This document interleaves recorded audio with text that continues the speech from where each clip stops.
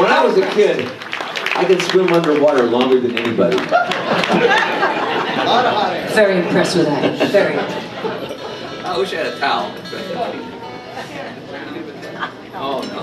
Hey, Bob.